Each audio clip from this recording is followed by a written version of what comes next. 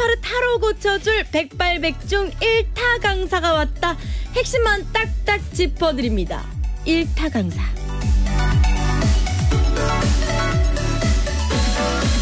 음, 모기는 혈액형 O형을 좋아한다? 이불 빨래를 안 해서 침대 진드기가 생기는 거다?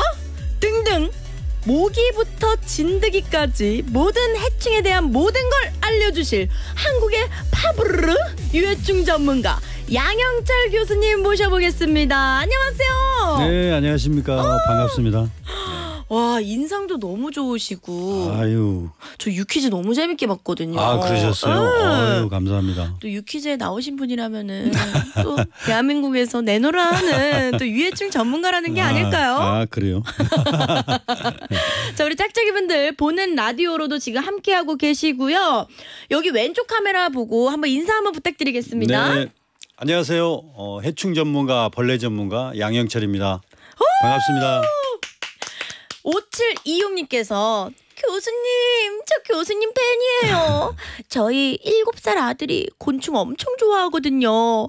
양 교수님이 박수채에 나오시다니! 라고 해주셨어요. 네. 아들은 왜 항상 곤충을 만지고 굴리고 좋아할까요?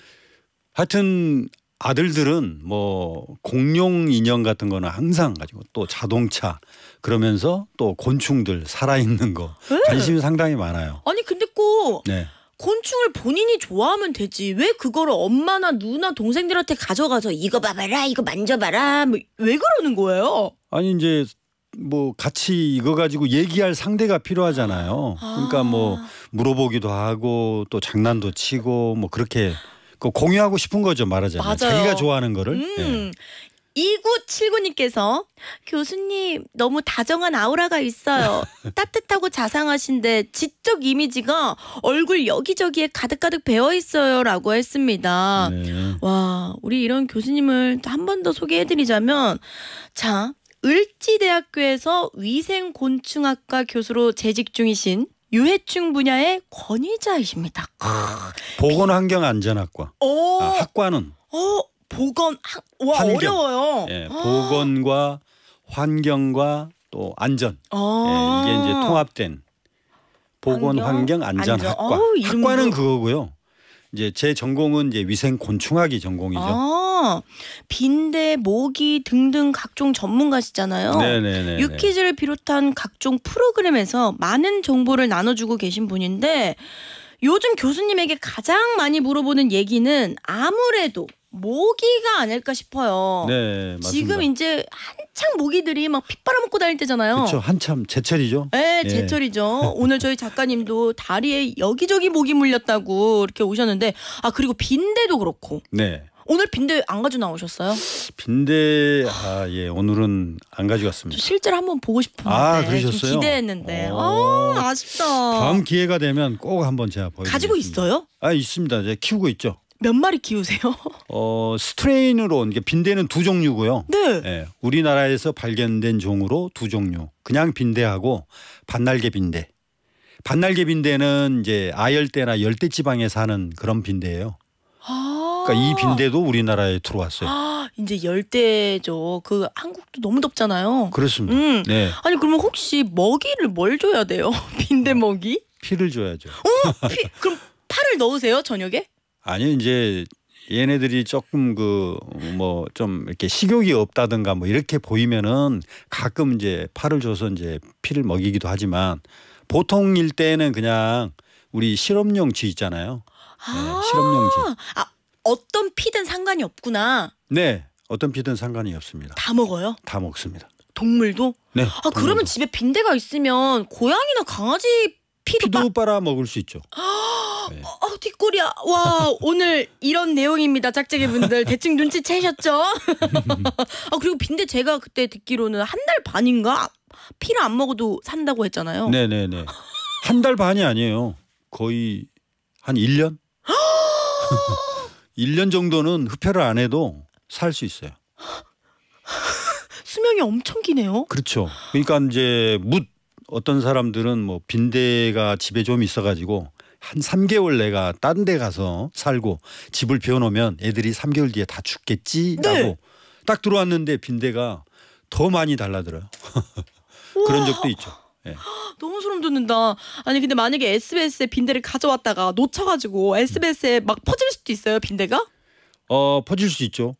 네, 퍼질 수 있죠. 왜냐하면 이렇게 그 예. 손님들이 뭐 앉아 있는 뭐 방문객들이나 이런 분들 앉아 있는 뭐 소파도 있고 하니까. SBS 피 많아요. 피 정말 아, 많아요. 그렇군요. 음.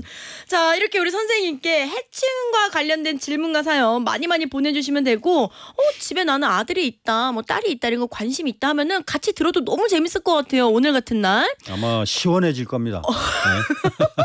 흡혈내기 하니까 어 그쵸. 그냥 싸늘해지고 예, 시원해질 것 같습니다. 어 등골도 오싹해질 것 같은데 자 예를 들어서 돈벌레는 정말 죽이면 안 되는 익충인가요? 혹은 집에 개미가 있으면 바퀴벌레가 안 들어온다던데 이 얘기 진짜예요? 등등등 문자번호 샵 1035 단문 50원 장문 100원 고릴라 무료고요 자 우리 이제 질문 짝짝이 분들께서 선생님이 오신다고 하니까 질문을 굉장히 많이 보내주셨고 또 저희도 네. 궁금한 게 너무 많잖아요 네. 어 물론 너무 필요한 학문이지만 위생 아까 말씀해 주셨던 위생 곤충학과라는 게 조금 생소한데 정확히 어떤 걸 배우는 거예요? 어, 유생 곤충학이라고 하는 거는 이제 질병을 직간접적으로 전파할 수 있는 그런 해충이죠. 그러니까 모기나 바퀴나 뭐 파리, 개, 뭐 박, 뭐 이- 빈대라든가 뭐 벼룩이라든가 또 진드기. 그래서 위생 곤충학에는 곤충은 아닌데 에, 포유동물 중에 하나 포함된 게 있어요. 그게 뭐냐면 쥐. 아 네, 쥐까지도 포함을 시켜서 위생 곤충학에서 연구를 합니다. 진짜요? 왜냐하면 쥐가 가지고 다니는 그 외부 기생곤충 있죠. 뭐 벼룩이라든가 뭐 쥐진드기라든가 이런 것들이 굉장히 많기 때문에 또 쥐, 쥐가 매개하는 질병이요 한 10여 가지가 있어요. 뭐 쥐에 직접 물려서 뭐 석요열이라든가 이런 게 전파되기도 하고 뭐 렙토스피라 뭐 찌찌가무시증 뭐 굉장히 많습니다. 와 쥐가 파먹었던 음식이나 이런 거 무조건 조심해야겠네요. 아 그렇죠. 그런 것 같은 경우는 잘못 먹게 되면은 이제 살모넬라 같은 예, 그런 식중독 비슷한 그런 증상들을 나타낼 수 있죠. 어 제가 예전에 집에 있는데 계속 한 입씩 뭐가 없어져 있는 거예요. 어? 그리고 어. 요구르트 이런 게 뚜껑이 다 열려져 있고 다 그래요? 알고 보니까 쥐가 한 마리 들어와서 가지고 되게 위험할 뻔했네요. 아파트였나요? 아 1층 주택이었어요. 아, 일층 마당이 주택. 있고. 아, 예. 그러면은 쥐들이 충분히 들어올 수 있죠. 아 그리고 중간 제 개인적인 질문인데 전 너무 놀랬던 게 쥐가요 네. 한 가족밖에 못 산대요. 그렇게 들어오면 그게 맞는 말이에요? 한 가족? 예. 다른 가족이 못 들어온다고 아, 하더라고요. 아, 아. 한 무리를 지으면. 그렇죠, 그렇죠. 왜냐하면 쥐들도 경쟁을 해요. 응. 그러니까 쥐 한 가족들이 이렇게 생활할 수 있는 공간이 보통 한 40m 반경. 그 정도에서 이렇게 돌아다니면서 먹이 활동도 하고 살기 때문에 다른 같은 종이라도 다른 개체들이 들어오면은 경쟁을 하죠, 싸우죠, 밀어내죠. 힘이 센 애들이 이겨요. 아, 어쩐지 제 주먹 두 개 이상만한 쥐였더라고요. 아? 이긴 거지. 어, 그렇지. 자 이렇게 아무튼 그렇다고 합니다. 쥐는 한 가족 한 무리만 살 수 있다고 해요. 아 두- 그리고 요새 지구 온난화 때문에 우리나라 날씨가 너무 많이 바뀌었다고 하더라고요. 네. 제가 봐도 갑자기 비가 안 내린다고 했는데 한 방에 비가 막 한 지역에만 쏟아진다거나 네. 뭐 그런 것도 많은데 실제로 곤충 생태계도 많이 바뀌었나요? 바뀔 수 있죠. 예, 비가 자주 내리면 또 빗물이 고이는 웅덩이나 이런 게 많이 생기잖아요. 그러면 모기가 번식할 그런 공간들이 많이 생기죠. 예, 예전에 그러니까 모기 숫자도 늘어나는 거고요. 어디 그 물 웅덩이가 하나 있었는데 거기에 물이 이렇게 고여 있었어요. 올챙이가 너무 많이 살고 있는 거야. 그래가지고 어, 올챙이. 어, 이렇게 올챙이가 많아 했는데 그게 그 모기 모기 유충을 또 올챙이로 잘못 보신 거 줄- 아닌가요? 맞아요. 제가 잘못 왜냐면 너무 올챙이를 막 팔락팔락거리면서 막 아. 이렇게 꼬리 흔들면서 움직이길래 네네네. 근데 그게 모기 유충이었더라고요. 장구벌레. 예, 모기 유충을 장구벌레라고 합니다. 아 예, 예, 그렇죠. 장구벌레는 또 다른 벌레인 줄 알았어요. 아니에요. 예, 모기 유충을 장구벌레라고도 예, 부르죠. 오늘 많이 알아갑니다. 우리 3719님께서 한여름밤 더워서 맥주 마시려고 하면 신랑이 모기는 맥주 마신 사람을 잘 무니까 마시지 말라고 하네요. 이거 사실이에요, 선생님? 이게 이제 여름 밤에 뭐 술을 한 잔씩 하시고 주무시거나 하면은 이 몸 밖으로 체표면으로 이렇게 열들이 많이 나와요. 예. 그래서 열들이 많이 나오면 모기가 되게 흡혈을 선호하는 그런 사람이 됩니다. 아, 열 많은 사람이 모기가 많이 물릴 수도 있겠네요. 그러니까 이 탄산가스 호흡이 많은 그런 사람들 경우는 CO2가 많이 나오니까 이제 그런 사람들 그다음에 체표면의 어떤 발열 예, 체온이나 이런 것들이 이렇게 발산되는 온도 이게 좀 높은 사람들을 선호하고요. 아. 그 다음에 이제 독특한 체취가 있어요. 혈중에 지방이 많거나 그런 사람들은 이 체표면에 독특한 체취가 있습니다. 땀도 많이 나서 그런가 그렇습니다. 땀, 땀도 굉장히 모기가 좋아하는 요소죠. 오, 그러면 애기들이 음. 원래 기본 체온이 높아가지고 어른보다 좀 더 많이 물리는 걸까요? 그렇습니다. 친진 대사 대사 활동이 굉장히 아이들은 이 성장기니까 네. 그런 게 높죠. 오, 예, 그러기도 하고 오, 깐난아기들은 또 그 유분 냄새들 있잖아요. 네. 예, 예, 뭐 분유 냄새라든가 아, 뭐 애기 젖 애- 냄새라고 그렇지, 하죠. 어. 그렇죠. 그렇죠. 이제 그런 것들이 어떤 약간의 이제 지방 성분들이기 때문에 그런 냄새들을 많이 풍기면 아이들이 또 많이 물리기도 하고요. 와 모기에 대한 카더라라는 이야기가 정말 정말 많아요. 뭐 그렇죠. 혈액형적인 것도 그렇고 네. 가을 모기가 더 독하다라는 얘기 네. 진짠가요? 가을철 모기는 여름철 모기예요. 그러니까 여름철 모기가 가을 동안까지 살면서 이게 이제 아. 늦가을이 되고 이제 겨울이 되잖아요. 겨울이 될 쯤에 그 모기는 다 죽습니다. 오. 그러니까 다 죽기 때문에 어떻게 해요? 마지막 자기가 막바지 다락이죠. 그렇죠. 그렇죠. 어떻게든지 흡혈을 해야 돼요. 네. 예. 아, 흡혈을 해서 산란하고 마지막 만찬이네요. 그렇습니다. 예. 그러니까 그러기 때문에 적극적으로 집안으로 들어오려고도 하고 또 밖이 쌀쌀해지니까 조금만 문이 열려 있거나 틈이 있으면은 집 안으로 잘 들어오죠. 아, 그래서 가을철 모기가 좀 독하다.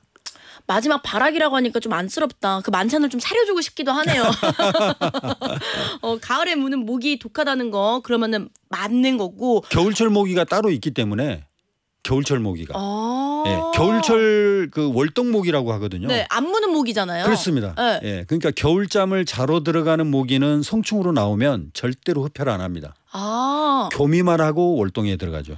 그럼 가을 모기가 이제 여름 모기잖아요, 그렇습니다. 맞죠? 그럼 그 네. 모기가 더 간지러운 거죠. 그렇죠. 가을철에 돌아다니면서 적극적으로 흡혈하려고 하는 모기는 다 여름철에 늦여름에 이렇게 나온 모기들이다. 아. 얘네들은 어떻게든지 흡혈을 하고 죽기 때문에 예, 흡혈을 적극적으로 하려고 하죠. 그러면은 안 씻어서 잘 물린다는 얘기는 진짜겠죠. 채취 때문에. 맞아요. 네. 모기가 특이하게 좋아하는 냄새가 있어요. 음, 무슨 냄새요? 발냄새.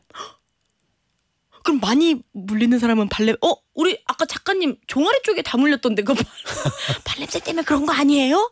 이 발냄새는 뭐냐면 발에 땀이 많이 나는 사람이에요. 아. 발에 땀이 나는- 많이 나는 사람이 그 땀이 숙성이 돼가지고 그 냄새가 나는 게 발냄새거든요. 아. 그래서 우리 어렸을 때는 모기장을 치고 자요. 네. 근데 유일하게 그 발가락을 많이 물렸어요. 그리고 발목도 엄청 많이 그렇죠. 물렸어요. 예. 발등. 예. 걷다가 긁기도 힘들어요. 그 부위는. 그렇죠. 발바닥 막 이런 거 엄청 있잖아요. 고통스럽죠. 아, 유독 네. 고통스러워. 진짜 발바닥에 물린 게 너무 고통스럽고 막 어우 막 긁어도 계속 간지러운 것 같고 발가락 위, 발가락 사이, 막 발바닥 미치잖아요. 그렇죠. 아 근데 발을 좋아하는구나. 네, 발에 이제 발냄새가 잘 나니까 음. 유독 이제 그쪽을 잘 물, 습니다 아니 그러면 선생님이 들어본 모기에 대한 가장 황당했던 썰 같은 거 있으세요? 뭐 중국의 어떤 과학자들이 네. 그 모기가 에이즈를 전파할 수 있다. 어 근데 아 피 때문에 그런가? 그러니까 이제 사실이 아니죠? 예, 아니에요. 아. 어, 옮길 수 없습니다. 옮길 수 없고요.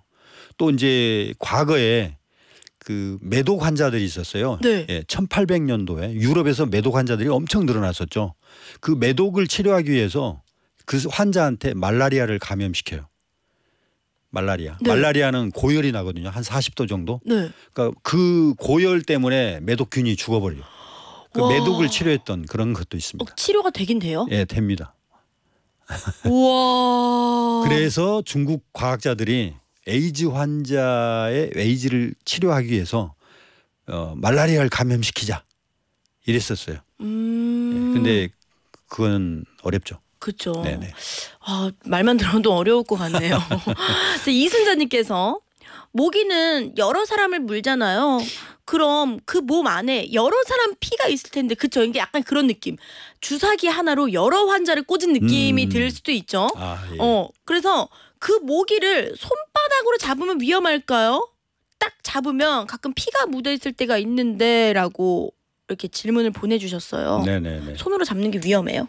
자, 모기는 그 여러 사람을 흡혈할 수도 있는데요. 대부분 흡혈을 당할 때 거의 모르잖아요. 네. 흡혈하려고 다가올 때 그 날개짓이나 앵 하는 소리 이런 것들 때문에 이제 갑자기 뭐 잠이 깬다든가 어떻게 알아본다든가 이제 이렇지만 실제 모기가 흡혈할 당시는 잘 몰라요. 맞아요. 모르기 때문에 여러 사람을 동시에 이렇게 흡혈해 가지고 뭐 혈액을 다 여러 사람의 피를 갖고 있거나 그러진 않죠.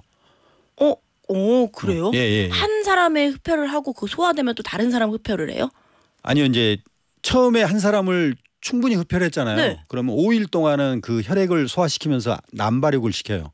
5일 동안. 그 다음에 아. 이제 알을 날, 알 날려고 이제 물가로 가죠.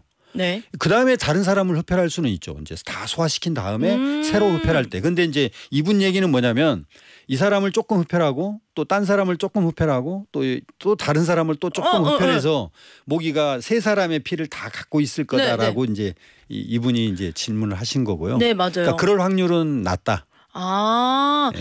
그래서 그 다른 사람 아. 음, 그럴 확률은 낮다. 낮은데 그뭐 여러 사람의 막한 두세 사람의 흡혈이 동, 그 혈액이 동시에 모기 몸에 체내에 있다 할지라도 손바닥으로 쳤을 때는 뭐 손바닥이나 이런 데로 감염은 안 되니까요. 아, 그쵸. 이 질문이었어요. 맞아요. 네. 이게 괜찮습니다. 위험하냐? 아, 네. 괜찮대요. 아, 그쵸. 저도 이거로 설명드리고 어. 싶었어요. 맞아. 이게 괜찮다고 합니다. 손을 다행이네요. 이제 잘 씻으시면 좋을 것 같아요. 네. 어, 최기랑님께서 저는 혈액형 O형인데 여럿이 있어도 진짜 저만 물어요. 저 정말 샤워 자주 하는데 모기가 좋아하는 피가 따로 있나요? 라고 질문해 주셨어요. 아 예. 우리나라의 그뭐 대사 질환, 뭐 성인병이라든가 뭐 이런 것들을 이제 어떤 그 의사 선생님이 이렇게 좀 조사를 하셨더라고요. 네. 보니까 O형이 보니까 뭐 순환계 질환이나 아니면 고혈압이나 이런 게 좀 환자가 많대요. O형이. 아, 예, 그래서 아까도 제가 말씀드렸지만 혈중 지방, 그 혈중 지방이 많으면 독특한 체취가 나거든요. 그리고 또 이 콜레스테롤 이런 걸 좋아해요 모기가. 어, 콜레스테롤. 예, 지방이 원래 열량이 높잖아요. 네. 그러니까 모기가 이 혈중 지방이 낮은 사람과 높은 사람을 놓고 봤을 때 혈중 지방이 높은 사람의 희- 혈액을 빨아 먹어야 얘는 영양분으로서는 굉장히 열량이 좋은 거죠. 아, 그쵸. 예. 아, 좋습니다. 자, 그러면은 자세한 이야기는 저희 4부에서 다시 나눠보도록 하겠습니다. 자, 박수채 4부 시작했고요. 아, 오늘 굉장히 시간이 빨리 갑니다. 너무 재밌어서. 네, 그리고 제가. 중간에 우리 짝짝이분들이 보내주신 문자랑 우리 이 채팅창을 봤는데 너무 깜짝 놀랐어요. 너무 질문이 많아가지고 아. 저희가 지금 이럴 때가 아니라 빨리 우리 짝짝이분들의 고민을 네. 해결해 주러 가보도록 하겠습니다. 자 그럼 아까 이야기 이어서 가보도록 할게요. 우리 김현규님께서 전 콜레스테롤이 많아서 모기에 잘 물리나 봐요. 어쩌나라고 보내주셨습니다. 맞는 말이죠? 네, 그렇습니다. 이제 하여튼 독특한 체취가 나요. 그러니까 사람들끼리는 잘 냄새를 못 맡지만 모기는 그걸 가릴 줄 압니다. 아, 센서가 예민하구나. 윤정호님께서 모기가 날아다닐 때 왜 거슬리게 윙 이런 소리가 나는 거예요? 그냥 조용히 물고 가면 모기도 활동하기 더 나을 텐데 경고해 주는 건가요? 라고 하면서 이거 근데 너무 귀여운 질문 아니에요? 네, 맞습니다. 하여튼 그 모기의 날개짓 소리거든요. 그러니까 모기가 뭐 1초에 수백 번의 날개짓을 하기 때문에요. 예, 그런 소리죠. 아, 근데 모기는 좀 조용히 좀 다녔으면 좋겠어요. 조용히 하면 우리가 더 모기에 많이 물리죠. 차라리 왜냐면 네. 잘때 모기 소리 들리면 보이지도 않는데 찾기가 어려우니까 잠을 못 자잖아요. 그러니까 얘네들이 웽 하다가 어 모기가 왔구나 그러고 불을 딱 켜면은 없어지잖아요. 어두운 쪽을 보세요. 자, 어? 구석진 어두운 쪽. 오 꿀팁 나옵니다. 네. 예를 들어서 뭐 어디 어두운 쪽이요? 뭐. 침대 밑으로도 들어갑니다. 얘가 아, 순간적으로. 아 밑에요. 예. 저는. 무조건 천장 위쪽 하면 절대 없죠. 거의 없죠. 거의 아니면 없죠. 아, 항상 어두운 쪽에 진짜 있었던 것 같다. 네, 어두운 쪽으로 싹 가서 자기 몸을 숨깁니다. 아니면 침대 밑에 만약에 딱 숨잖아요. 네. 거기 후레쉬 같은 거 비추면 나오려나? 그, 아니 이제 후레쉬를 비추고 전기체에 요즘에 그 후레쉬가 같이 있는 게 있더라고요. 아. 전기채가 되게 좋습니다. 하여튼 굉장히 좋습니다. 모기 잡을 때. 어, 어 나중에 박수채 우리 목요일 코너에 제가 전기채 하나 가져와야겠다. 진짜 엄청 요새 너무 세가지고 네. 한번 딱 죽였더니 날개가 벽으로 붙어버린 거예요. 어. 터져버려가지고 아, 그렇죠, 벌레가. 그렇죠. 예, 네, 너무 네, 좋아요. 네, 네. 와 그럼 교수님은 여러 도구 중에 네. 벌레 잡는데 어떤 걸 주로 쓰세요? 제일 좋은 게 네. 바로 방금 말씀드린 대로 전기채. 가장 좋습니다. 저희 잘 집안에는 이제 뭐 살충제나 이런 거 안 써요. 에프킬라 뭐 이런 거 그다음에 뭐 전자모기향 이런 건 전혀 안 씁니다. 어 네. 그냥 무조건 오로지 친환경적으로. 좋습니다. 어, 친환경적으로. 우리 오칠 이사님께서 굉장히 흥미롭고 재미있는 질문을 해주셨습니다. 박사님은 모기 물렸을 때 어떻게 하시는 편인가요? 침 바르시거나 손톱으로 십자가 만드시나요? 아니죠. 오, 저는 이제 그 헤어 드라이기 헤어 드라이기를 그 물린 부위에 살짝 잽니다. 뜨끈뜨끈하게. 예. 뜨끈뜨끈하게. 아, 보통은 가려우니까 냉찜질을 많이 하거든요. 네, 또 가려우니까 십자가 긋는 분도 계시고 그럼요. 침을 발랐을 때 약간 효과가 있습니다. 이, 이 소화 효소 같은 이런 것들이 네. 진정시키는 효과가 있긴 해요. 어. 오래 가질 못합니다. 음, 그러니까 이런 방법들은 별로 효과가 없고요. 맞아요. 왜냐하면 왜 가려움냐면 모기의 타액이 우리 몸에 들어오는 거거든요. 네. 그게 단백질입니다. 그러니까 이 단백질이 우리 몸에 들어오니까 면역 반응의 하나로 이제 가려움증이 있는 건데 아, 그 이물질이 들어오니까 우리 몸에서는 백혈구를 그 물린 부위로 보내려고 하는 거예요. 네. 보낼 때 히스타민이 분비되는 거죠. 음. 히스타민이 분비해서 혈관을 확장시킵니다. 네. 그렇게 해서 백혈구를 그쪽으로 보내기 때문에 보내려고 하기 때문에 가려운 거예요. 아, 그러니까 내가 그 히스타민 분비 안 되고 그냥 헤어 드라이기로 뜨끈하게 해주면 혈관이 확장되겠죠. 네. 그거 안 가렵죠. 아, 그래서 실제로 모기 물리고 나서 붙이는 그런 밴드나 바르는 약 바르면은 좀 따뜻해지거든요. 아 그래요? 네. 네. 그래서 좀 덜 간지럽기도 그렇습니다. 하나 예, 보다. 따뜻해지 오히려 따뜻하게 해주는 게 음. 덜 가렵습니다. 어, 좋습니다. 임수진님께서 가끔 모기나 다른 벌레는 못 봤는데 갑자기 손에서 팔 사이에 작게 물린 자국이 보이면서 엄청 가려워요. 모기 물린 자국보다는 엄청 작고 가끔 연속으로 물린 자국도 있어요. 이건 어떤 벌레에 물린 걸까요? 라고 했는데 이거 너무 좀 어, 사진이나 이런 걸 봐야 알 수 있을 것 같은데 어 이거 이- 좀 위험한 것 같은데 왜요? 빈대 빈대랑 비슷해요. 어, 비, 비, 비, 빈대가 물리면 어떻게? 그 연속적으로 연속 물린 자국이 있다고 그러잖아요.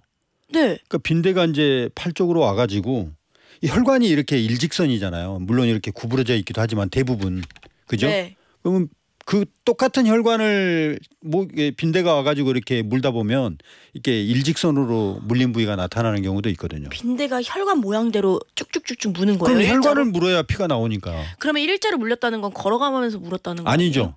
그러니까 여러 마리가 한 서너 마리가 네. 어, 너무 좋아하시는데 어, 저 지금 몸이 뒤집어 꺾어졌어요. 아, 여러 마리가 같이 그 혈관을 그렇죠. 여러 물- 마리가 이제 동시에 올라오잖아요. 그러면 혈관이 이렇게 모, 모양대로 혈관이 있는 모양대로 얘네들이 찔러서 흡혈을 하다 보면 그 혈관 모양대로 이제 물린 자국이 나오겠죠. 와, 그러니까 어디서 많이 본 그림이다. 그렇죠. 일렬로 네. 그 단체 급식하는 거네요. 맞습니다. 줄 네, 서가지고 네, 네. 내 혈관이 급식 판 이렇게 일자로 음식 딱 차려놓은 거고. 그렇죠. 그러니까 소가 여물을 먹듯이 그냥 이렇게 줄줄이 와가지고 이렇게 먹는 거죠. 말. 최근에 이런 얘기 들었어요. 그 해외 여행 갔다 오면서 빈대를 가지고 올 수 있죠. 네 가지고 올수 있다는 얘기를 들었는데 네, 특히 파리에서 올때 네. 빈대를 좀 가져온다고 하더라고요. 아, 파리뿐만 아니라 뭐 런던도 마찬가지고요. 뭐 유럽, 예, 뭐 미국, 뭐 예, 어디가 제일 많아요? 미국도 심각해요. 예, 미국. 우리나라보다 훨씬 더 선진국이지만, 네. 미국은 미국은 그 내가 주택을 팔 거잖아요. 다른 네. 사람한테 팔 때 그 방역을 했다는 증명서를 첨부를 해야 팔려요. 아 그 정도로 약간 빈대가 빈대뿐만 아니라 흰개미 같은 경우도 미국은 거의 다 목조 주택이잖아요. 네. 그러니까 흰개미에 대한 어떤 피해라든가 빈대 서식 이런 피해들이 많기 때문에 그러니까 그런 그 방역 그런 그 서류를 첨부를 해야만 예, 집이 팔립니다. 나무를 좋아하니까. 흰개미 흰개미는 이제 나무를 갉아먹죠. 예, 그래서 집이 무너질 수 있다는 이야기 들었거든요. 그렇죠. 예, 흰개미가 예, 예, 살면은 그렇습니다. 집이 부식된다고. 예. 그럼 빈대 예방 어떻게 할 수 있어요? 빈대 네. 만약에 해외여행을 갔다 오시면 일단은 가방이나 이제 이런 데 이제 묻혀서 들어오는 거기 때문에 일단은 집에 와서 웬만하면 현관 밖에서요. 네. 예, 열어서 일단은 그 옷가지나 이런 것들은 이제 세탁을 해야 되니까 세탁실로 가서 바로 세탁을 할 수 있도록. 네. 세탁을 할 때는 항상 60도씨 이상의 좀 온수로. 아, 예, 60도씨의 빈대가 만약에 들어가게 되면 거의 뭐 한 몇 분 안에 죽어요. 아, 예. 열에 약하구나. 예, 예, 예. 그러니까 온수로 이렇게 세탁하는 걸 그렇게 하시면 되고 그 다음에 이제 가방에 안에 이제 뭐 여러 가지 물건들이나 뭐 화장품이나 이런 것들 확인해서 이렇게 들어오시면 되고 음. 예. 그 다음에 이제 그 가방은 그 natural pyrethrin이 들어있는 에어로졸이 있어요. 어? natural pyrethrin 네. 천연 제충국제. 아. 예. 그런 걸로 에어로졸을 조금 분사한 다음에 비닐 큰 비닐백 있죠. 예. 거기다가 여행 가방을 집어넣어서 어, 입구를 딱 묶어가지고 한 이틀만 놔두시면 와, 우리 짝짝이분들 해외여행 갈 때 이런 거 중요한 것 같아. 그냥 가방에만 옷이랑 화장품 넣어가는 게 아니라 이렇게 예방할 수 있는 제품들이 있자, 있잖아요. 네, 같이 네, 넣어서 네, 다닐 네. 수 있는. 네, 네, 네, 네. 그런 거 같이 넣어서 가면은 너무 좋을 것 같은데요? 꿀팁인데? 같이 넣어서 갈 만한 제품은 없고요. 아. 예. 그러니까 만약에 이제 여행 갔다가 이제 돌아오셨을 때 이제 외국에서 가져올 수 있거든요. 음. 예. 그러니까 그때 이제 옷가지나 이런 것들은 밖에서 해가지고 세탁실로 가서 바로 세탁하시면 되고 다른 물건들은 좀 확인해서 이렇게 들어오시면 되고 네. 여행 가방에도 틈새가 많잖아요. 그런데 이제 애들이 숨어 있을 수 있으니까 이제 그런 것들은 마지막 처리할 때 예, 우리 가정용 에어로졸 중에 그 natural pyrethrin이 들어있는 게 있어요. 그 이거는 이제 금방 분해가 잘 돼서 뭐 독성이나 이런 걸 일으키지 않거든요. 음. 예, 그런 걸 해서 딱 훈증하게끔 네. 그래서 비닐봉지에 딱 넣고 쭉 뿌려준 다음에 입구를 딱 묶어가지고 한 이틀 정도만 이렇게 네. 해주면 어. 그 나중에 이제 바람 불- 밖에서 이렇게 오픈해가지고 좀 공기 좀 이렇게 예, 통하게 한 다음에 이제 들어오시면 돼요. 어, 이은주님께서 빈대가 있는지 없는지 어떻게 알 수 있을까요? 네. 라고 보내주셨어요. 빈대는 영어 일반명으로 배드버그라고 그래요. 네. 그러니까 숫자가 그렇게 많지 않으면 침대 주변에 있습니다. 매트리스. 그러니까 매트리스에 보면은 약간 검은색의 얼룩이 있거든요. 네. 예, 얘가 흡혈을 해가지고 혈액을 소화한 다음에 배설을 하면 약간 검은 얼룩 같은 것들을 배설을 해요. 아. 그래서 이게 이제 천에 닿으면 살짝 번지거든요. 네. 그래서 무슨 검은색의 곰팡이처럼 뭔가 이런 게 좀 여러 개가 모여 있거나 그러면은 그 부위에 이제 빈대가 서식했을 가능성이 있죠. 그러니까 오. 그런 게 없으면 빈대가 없는 거고요. 그러니까 그런 걸 먼저 이렇게 뺑 둘러서 이제 침대 매트리스 주변으로 찾아보시면 네. 예, 됩니다. 아, 그 영상 보니까 이런 얘기도 하셨더라고요. 도망갈 수 있으니 천천히 찾아보라고. 그렇습니다. 예, 예. 빨리 찾으면 얘네가 탁탁탁 도망가니까 예. 천천히 찾아봐라. 예, 천천히 찾는데 반드시 그 청소기를 딱 켜놓고 음. 나타나면 바로 이제 빨아들여야 되니까 그렇습니다. 그럼 빨아들인 다음에 그거 빨아들인 건 어떡해요? 딴 데 버리면 딴데 옮을 거 아니에요? 아 그래서 이제 그 이 종이 필터에 잡힐 거 아니에요. 네. 예, 필터에 잡히면 나중에 이제 그 필터를 꺼내서 안에 에어로졸을 충분히 뿌린 다음에 밀봉해 가지고 예, 버리면 되죠. 아, 좋습니다. 자, 배드버그라고 하니까 비슷한 또 bug가 하나 있죠. 요새 굉장히 좀 문제가 많았던 love bug. 아, love bug. 예. 응. 5940님께서 선생님, 요즘엔 또 잘 안 보이긴 하지만 벌레 두 마리가 붙어 다니는 음. love bug요. 저 어릴 땐 이런 벌레가 없었던 것 같은데 도대체 어디서 나타난 아이인가요?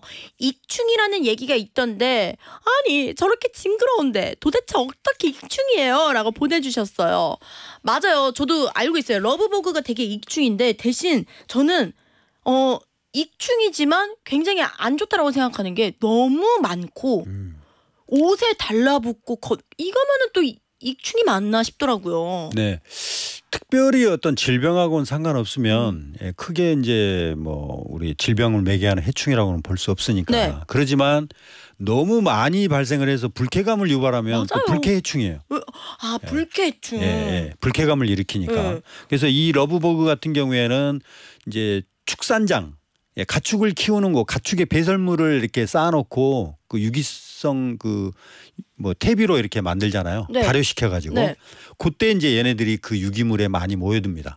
아 그래서 그 폐유기물, 예, 가축의 배설물이나 이런 것들을 먹어서 분해를 해주니까 익충이라고 얘기를 하는 거예요. 음, 아니 근데 얘네는 왜 많아진 거예요? 러브버그가? 어 이제 얘네들이 이제 요즘에 이제 기후 변화나 이런 것들 때문에 뭐 다른 가까운 중국이나 이런 데서 날라올 수도 있는 거고요. 예. 그러니까 이런 그 중국도 보면은 최근에 그 광동성이나 이런 쪽에 물난리가 많이 났거든요. 네. 예. 그래서 물난리가 나면은 뭐 축산장이나 이런 게 다 잠기니까 그러면 얘네들도 거기서 살아남을 수가 없잖아요. 네. 그러면 대이동을 하게 됩니다. 아, 더 이동을 하게 되면 환경으로. 예, 뭐 고공 기류를 타게 되는 거죠. 그러면 바람의 방향을 타고 와 가지고 뭐 우리나라에 뚝 떨어질 수도 있고요. 흘러가는 대로. 그렇습니다. 음. 아, 6952님께서 침구나 쇼파 위 진드기 전문 청소기를 팔더라고요. 네. 일반 청소기로는 해결이 안 되는 건가요? 라고 보내주셨어요. 어, 이 진먼지 진드기 같은 경우는 크기가 한 2, 300 마이크로미터 정도 되거든요. 2, 300 마이크로. 네. 그러니까 10분에 한 2mm, 3mm 이 정도. 오. 예. 그러니까 자세히 보면 보입니다. 음, 근데 이제 유백색이라서 얼른 안, 비, 안 보이죠. 눈에 얼른 안 띄죠. 그렇죠. 막 예, 예. 자세히 보려고 해야만 예. 보이는 거지. 그냥 예. 보면 안 보이는 그렇습니다. 거잖아요. 근데 이제 요즘에는 이제 청소기가 조금 헤파 필터 같은 것들 네. 아주 미세한 먼지까지 빨아들이는 예, 그런 그런 것들을 포집하는 그런 청소기를 이제 전용 청소기로 많이 씁니다. 어, 우리 정경희님께서 아 정말 나 이거 읽고 싶지도 않아. 택배 박스에도 아. 바퀴벌레 많다고 들었어요. 음, 현관에서 박스 뜯으라고 하더라고요. 이거 맞는 이야기인가요? 이 가끔 이제 택배 양이 많으면 이 배달하시는 우리 분들이 배달 기사분들이 기사- 네. 배송 기사님들이 이렇게 이제 그 입구에다가 이렇게 몇 개 쌓아놓거든요. 뭐 이쪽에 또 배송도 해야 되고 이쪽에 이제 배달을 해야 되니까 입구에 이렇게 따두게 되면은 그런 그 뭐 이 하수구나 이런 것들이 가까이 있을 때는 네. 바퀴들이 왔다 갔다 하면서 그 이 박스 사이로 쏙 들어가게 되는 거죠. 아. 예, 그럴 수도 있죠. 그게 또 밖에서 들어오는 벌레는 참 저희 집에 계속 날개 있는 엄청 큰 그 미국 바퀴벌레라고 하죠. 네네네. 그게 자꾸 보이는 거예요. 일주일에 한 마리씩. 오. 근데 이건 잡을 수가 없다는 거예요. 야외에서 밖에서 들어오는 아, 거래요. 그렇습니다. 네, 네, 네. 그래서 알고 보니 제가 택배를 받으려고 문을 열었는데 그 문 위에서 뚝 떨어지더라고 한 마리가. 아, 그 밖에서 들어오는 거더라고요. 그래서 맞습니다. 택배 받을 때 진짜 조심해야겠다. 네. 뭐 특히 단독주택이나 이런 데는 옥상에다가 텃밭을 가꾸는 경우도 많아요. 어, 네. 그 텃밭을 가꿀 때 그 상자 있잖아요. 스티로폼 박스나 뭐 이런 거 네. 작물을 심어 놓은 거 그거 이렇게 밑에 옮기면 거기에 바퀴들이 많죠. 왜냐하면 작물 이제 식물에다가 물을 주기도 하니까 네. 거기 항상 습하고 그러잖아요. 그러니까 그런 데에 많이 있어요. 그러니까 우와. 그런 데에도 좀 관리를 잘 하셔야 돼요. 와 오늘 역대급으로 지금 밖에도 그렇고 저도 그렇고 계속 귀를 막으면서 이렇게 하는데 약간 네. 스릴 있네요. 공포 네. 영화 보듯이. 아 그렇습니까? 아, 예. 아니 그리고 아파트 베란다에 베란다. 맞아 저 이거 궁금했어요. 화분 키우고 베란다에 막 네, 많이 네. 키우잖아요. 네. 바퀴벌레가 있을, 있을 수 있어요? 예, 있을 수 있죠. 그 화분에 이제 물을 많이 주니까요. 네. 그러니까 물들이 이제 화분 밑으로 빠져나가면서 거기가 습하거든요. 네. 그러니까 곤충들은 이 좀 습한 데를 좋아해요. 맞아요. 예, 너무 습하면 제, 걔네들도 병에 걸려 죽기도 하는데 네. 예, 그러니까 적당히 이제 습한데 그런 데서 이제 이렇게 살기를 좋아하기 때문에 이 화분 밑에라든가 이런 데 이제 주로 많이 서식할 수가 있죠. 아, 예. 와 맞아 항상 돌 들어보거나 어디 그렇습니다. 들어보면 예, 그 예. 밑에 그 밑에 벌레가 있잖아요. 그렇습니다. 그러면은 거기에 약 쳐놔야 하는 건가요? 아, 그래서 거기에는 이제 딱히 먹을 게 많지는 않잖아요. 음. 예, 많지는 않기 때문에 이제 바퀴 그 동먹이가 있거든요. 그러니까 살충제를 미량 그 바퀴가 좋아하는 먹이에다가 섞여 놓은 게 있어요. 치약처럼 짜서 쓰는 거. 아 어렸을 때 많이 봤어요. 예, 예, 바퀴 그 잡는 예, 동먹이 제품이 있죠. 네. 아 그런 그래서 거. 그런 것들을 화분 밑에 한쪽 구석에다가 이렇게 조금씩 짜놓으면 좋습니다. 오. 예, 그 땅콩 알 정도 크기만으로 해서 이렇게 두 군데 예, 화분 하나에 한 두 군데 양쪽 모서리에 네. 예, 그러면 애들이 나와서 그거 먹고 이렇게 하다가 이제 죽죠. 어, 좋습니다. 만약에 혹시 뭐 옥상에 강아지가 있거나 좀 입이 닿을 수 있다면 좀 조심히 그렇습니다. 약을 해놓는 네, 게 네, 좋을 네. 것 같아요. 네. 5839님께서 바퀴벌레는 한 번 생기면 업체 도움을 받지 않고서야 안 없어진다고 하잖아요. 이거 진짜인가요? 근데 업체 불러가지고 바퀴벌레를 없애는 게 진짜 없어지는 게 아니라 옆집, 윗집, 아랫집 등등등 옮겨가는 거라는 얘기를 들었어요. 그래서 바퀴벌레 업체 안 부르는 게 바보라고 하더 라고요. 이거 진짜 있는 이야기예요, 선생님? 그러니까 이제 일반인들이 바퀴가 어느 틈새에 주로 많이 있고 이런 것들을 알기가 어렵잖아요. 네. 예, 그러니까 이제 업체 전문 업체를 이제 불러서 좀 이렇게 방역을 할 수 있게끔 하는 건데 네. 하여튼 본인이 공부를 조금 열심히 하면 뭐 셀프 방역도 할 수 있죠. 어, 약도 요새 너무 좋잖아요. 예, 예, 예. 뭐 굳이 이렇게 막 전문 약으로 해서 이렇게 뿌려 막 광범위하게 뿌릴 약들은 네. 없거든요. 음. 예, 그러니까 바퀴들이 어디를 좋아하고 어디에 주로 모여 있는지 이제 그런 포인트만 잘 골라서 이렇게 확인해 보면 아. 예, 바퀴들을 볼 수 있어요. 바퀴는 서로 모여 사는 습성이 있어요. 네. 집단으로 모여 살아요. 네. 예. 그렇기 때문에 뭐 서랍에 싱크대 서랍 밑면이라든가 뭐 하여튼 뭐 이런 데 요주 부위에 딱 우리가 확인해 보면 음. 뭐 없으면 없는 거고요. 거기에서 뭐 한두 마리가 있다 그러면 그쪽 가까운 부위에다가 아까 치약처럼 짜서 쓰는 동먹이제 음. 뭐 이런 것들을 살짝 짜놓으면은 애들이 거기서 먹고 죽죠. 아, 저도 업체를 불러봐서 알지만 진짜로 말씀하신 대로 특별히 크게 하는 것보다는 음. 약을 어디 위치에 쳐놓고 그거 확인하고 다시 쳐놔주시고 가시고 이것만 하시거든요. 그렇죠. 네. 어, 뭐 바퀴벌레 정도는. 네. 그래서 이런 거 잘 알면은 네. 음, 돈 굳을 수 있지 않을까? 네. 저는 이제 집에 이렇게 모기도 가져오고 바퀴도 가져오고 네?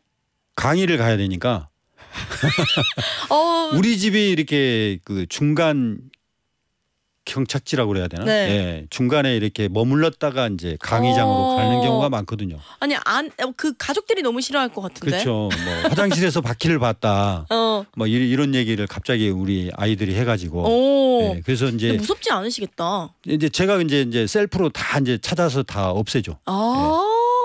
그래서 실제로 제가 그 싱크대에서 네. 바퀴 그 새끼가 굉장히 작거든요. 네. 얘가 한 마리가 싹 나왔다가 싹 들어가는 걸 봤어요. 네. 커피 포트 밑에. 네. 예. 아 여기에는 적어도 50마리는 있구나. 그걸 예측을 했죠. 왜냐하면 그 네. 알집에서 이렇게 부화가 되거든요. 알집에서. 그러니까 알집 안에 이제 47개, 뭐 37개 이 정도 알이 들어 있으니까 네. 한번 부화하면은 한 40마리는 있는 거죠. 아. 그래서 한 마리가 싹 나왔다 싹 들어가길래 이 싱크대 위에 있는 물건을 다 치웠어요. 네. 일단 다 치우고 네. 휴지를 한세겹 해가지고 물을 적셔가지고 네. 딱 준비를 하고 네. 커피 포트를 빼서 그 밑에 받침대 있잖아요. 네. 예, 전원하고 연결된 부. 네. 그걸 살짝 들었다가 싱크대 위에다 탁 쳤죠. 네. 그랬더니 한 50마리가 뚝 떨어지는 거예요. 자 선생님 자 이제 저희는요 와 짜릿하다 재밌다 공포 영화 본 것 같다 아니 사실 말씀 끄는 게 인사 나눌 시간이 진짜 됐고 아 그래요? 네 저희가 어. 지금 모기 빈대 진드기 돈벌레 너무 많은 질문이 왔는데 네. 반도 못했고요 아. 지금 문자랑 채팅창 난리 났거든요 네. 또 나와주셔야만 합니다 이거는 아 한 번 더 해야죠. 감히 저희가 네. 이거는 이 여름이 가기 전에 한 번 더 해야 해야. 됩니다 해야 지금이 기승이잖아요 예, 좋습니다 시원하게 한번. 우리 3920님께서 오늘 공포 특집인가요? 아, 예. 남양 특집으로. 아 이게 흔히들 다 겪는 거기 때문에 네. 오히려 더 무서운 것 같아요 그래요? 귀신보다 오늘 어떠셨어요? 아뭐 많은 분들이 또 이렇게 좀 음? 관심을 가져주니까 아 좋았습니다. 오 예.